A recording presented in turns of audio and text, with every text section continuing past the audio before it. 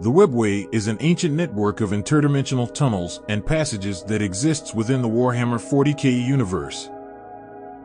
It was created by the Eldar in the distant past as a means of fast and secure travel across the galaxy, independent of the turbulent warp. The Webway was designed as an alternative to relying on the warp for long distance travel, providing a safer and more controlled means of transportation. The Webway is accessed through portals known as Webway Gates, which serve as entry and exit points to different locations within the network. These gates are carefully guarded by the Eldar and their Harlequin allies to prevent unauthorized access and protect their domains. The Webway is a vast and complex labyrinth, with its tunnels spanning across the galaxy.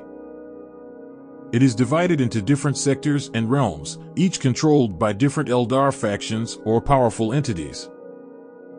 Some sectors of the Webway are also infested with dangers such as warp-spawned creatures or even chaos incursions. Other factions within the Warhammer 40,000 universe, such as the Imperium of Man, have sought to exploit or control sections of the Webway for their own purposes. However, navigating and accessing the webway is a complex and dangerous task, as it requires intricate knowledge and protection from the forces that dwell within it. Thanks for watching.